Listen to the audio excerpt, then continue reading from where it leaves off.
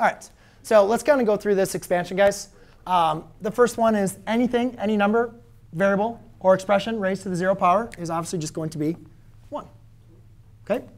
Um, over here, we have x plus y to the first. Anything raised to the first power is just going to be itself.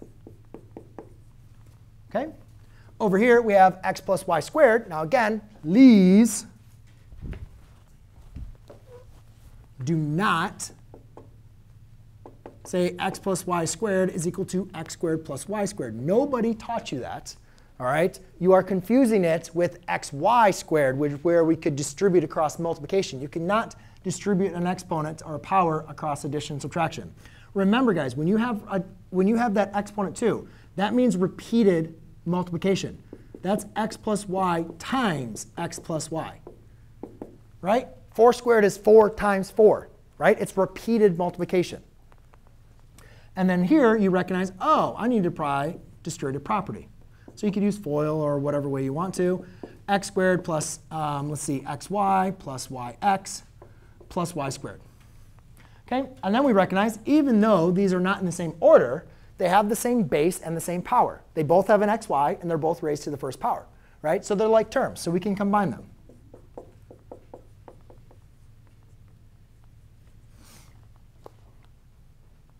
Agreed? Cool.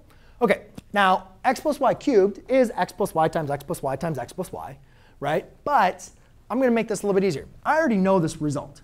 And usually, guys, a binomial squared, if you did your what you need to know from polynomials, you practice some of that, you should know, you should hopefully be able to do this relatively easily. So I'm actually going to rewrite this problem as x plus y times um, x plus y squared. Isn't that the same thing as x plus y cubed? Now, the reason why I like this notation a little bit better is I already know what x plus y squared is because I just did it. Now, if I didn't just do it, I'm pretty comfortable with squaring something.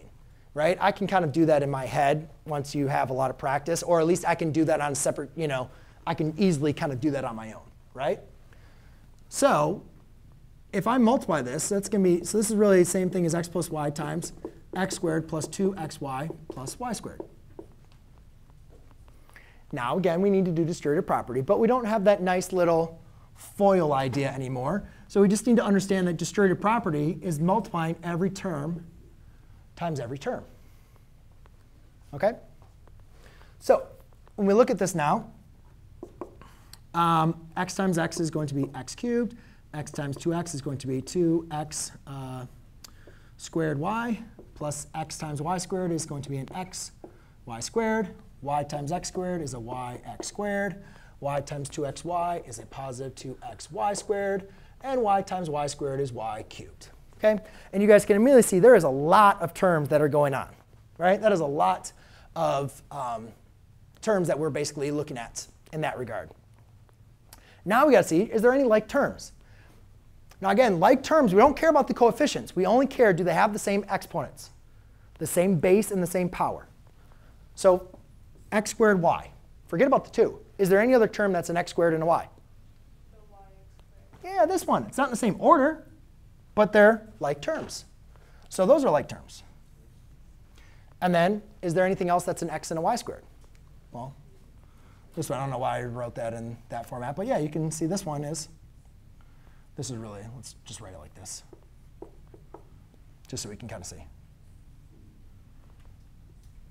So you guys see how those are like terms. Sometimes a little bit difficult. Those are a little bit more going on, but you guys can see that those work. So therefore, 2x squared, 2x squared y plus um, x squared x squared y is going to give us a 3x squared y plus a 3xy squared plus a y cubed right? We're getting a little better. All right, let's go ahead and move up the chain here, and let's go and work into a x plus y to the fourth power. Now, working into x plus y to the fourth, kind of based on my understanding that I previously did, you know, this is x plus y times x plus y times x plus y times x plus y. But again, when you're multiplying something, you only, we're only multiplying two things at a time, right? We're not just multiplying everything times every, like only pick two binomials and multiply them at a time. However, using the understanding I did for the last problem, I'm going to rewrite this as x plus y squared times x plus y squared. Is that still x plus y to the fourth? Yes. Do I already know what this answer is? Yeah, I already did it, right? And, and if I didn't already do it, I could easily kind of figure that out, like just by you know my own math work. So that's going to give me x squared plus 2xy plus y squared times x squared plus 2xy plus y squared. And then maybe if you look at that, you might have had maybe like your heart pressure just kind of looked at you and be like, oh, wow, that's a lot of lines to multiply. Don't you guys agree? Like, look how crazy that is. Can you just imagine how crazy this is to do the distributive property? It's not going to look very pretty. All right? So let's maybe think of multiplication as a different way. You guys agree 3 times 4 is equal to 12. Kind of like the same thing of length times width equals area. Agreed?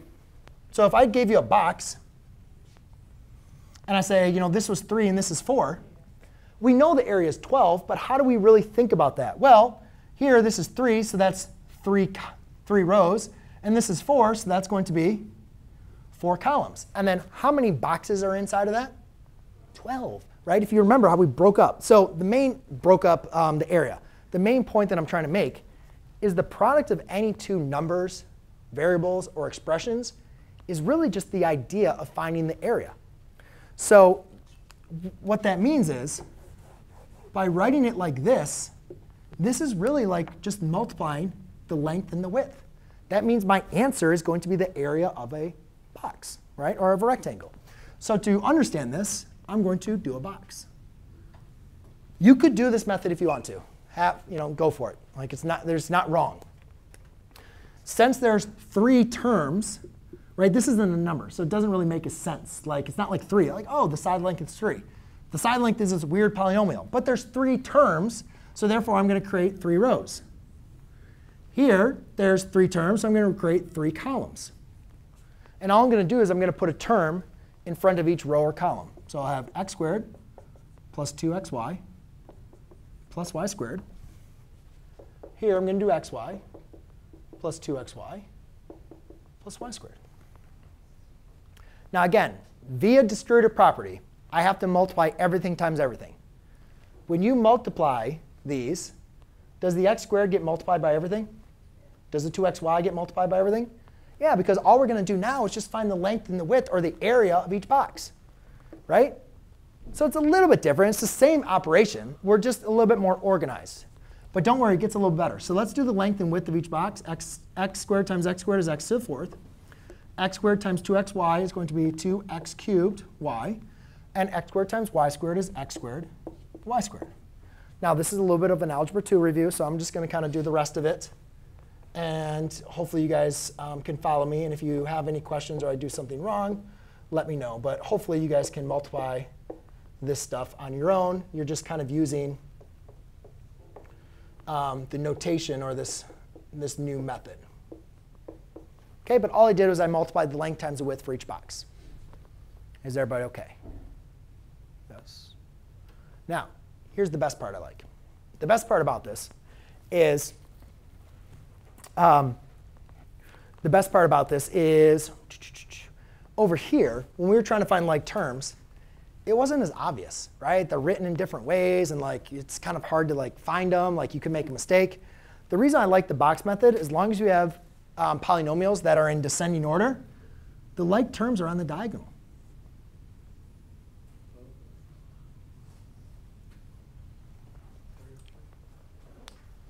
So now for me to find my final product, I'm just going to take x to the fourth plus 4x cubed y plus 6 x squared y squared plus 4 xy cubed plus y to the fourth.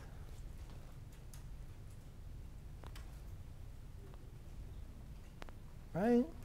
Ta-da! Now,